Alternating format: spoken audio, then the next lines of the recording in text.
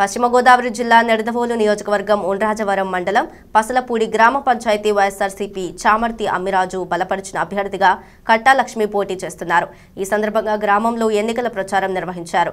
ప్రచారంలో ఆమె మాట్లాడుతూ గ్రామాన్ని అభివృద్ధి పథంలో నడిపించడంలో ముందుంటామని గ్రామాన్ని స్మార్ట్ విలేజ్గా తీర్చిదిద్దడానికి తమ వంతు కృషి చేస్తామని ఎవరికి ఏ కష్టం వచ్చినా సాయం చేస్తామని హామీ ఇచ్చారు. ప్రజలు తమ అమూల్యమైన ఓటును మంచం గుర్తుపై వేసి గెలిపించాలని కోరారు. మంచం గుర్తుగా! మంచం గుర్తుగా! మంచం గుర్తుగా కట్టాలక్ష్మి గారి నాయకత్వం. కట్టాలక్ష్మి గారి నాయకత్వం. కట్టాలక్ష్మి గారి నాయకత్వం. కట్టాలక్ష్మి గారి నాయకత్వం. మాది పసలపూడి అండి నేను కట్టాలక్ష్మిని అండి మేము వెనకబడ్డ వాళ్ళమండి. అందుకని ముందుకు రావాలి. మన మన జగన్ గారు రావాలని మమ్మల్ని బయటికి మన కన్నం రాజుగారు రమ్ బలపరిచారండి.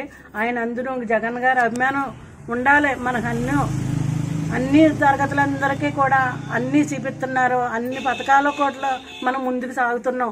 అన్ని ఆయన అందు మనం ఎన్నో లబ్ధి పొందుతున్నాం. అంత గదులు పట్టి తిరుగుతున్నానండి. కానీ అసలు ఎక్కడ కూడా మా అసలు పేటలో కానీ ఎక్కడా కూడా అసలు రోడ్లు బాగోలేదండి అసలు ఎక్కడ కూడా రోడ్లు అసలు బాగోలేదండి. అందుకు కాబట్టి అవన్నీ కూడా చేయించుకోవాలి. పైన అధికారం ఉంది. జగన్ గారు ఉన్నారు. మనం అండగా మనం ఉండాలి. మనం అన్నీ చేయించుకుందామని ఆడ మహిళలు అందరం కూడా అనుకుని ముందుకు నేను ఈ గ్రామం పసలపూడి గ్రామం బాగోవాలి. నా పేరు చామర్తి తమిరాజు. నేను ఈ ఊళ్ళో గ్రామ కారణంగా పనిచేశాను. తర్వాత విఆర్ఓగా పనిచేశాను.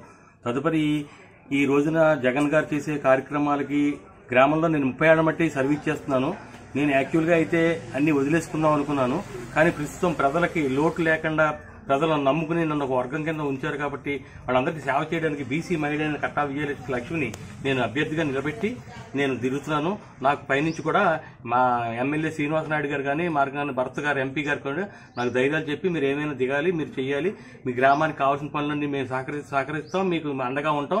మీ గ్రామ ప్రజలకు మీరు ఈ రోజుల్లో ఈ వయసులో నాకు సుమారు అరవై సంవత్సరాల వయసు ఈ వయసులో మీరు సేవ సర్వీస్ చేయకపోతే ప్రజలకు ఎలాగా ముప్పై ఏళ్ళ బట్టి రాజకీయాల్లో ఉన్నారు కాబట్టి గ్రామ ప్రజల కోసమైనా సరే దిగమని నన్ను గట్టిగా పై వర్గాలు కోరినందున నేను గ్యారంటీగా జగన్ గారికి చెప్పడానికి గ్రామ ప్రజలకి అన్ని రకాల సేవలు అందించడానికి మా వర్గం కానీ కులం కానీ ఇంకోటి కానీ లేకుండా సర్వీస్ చేస్తాను.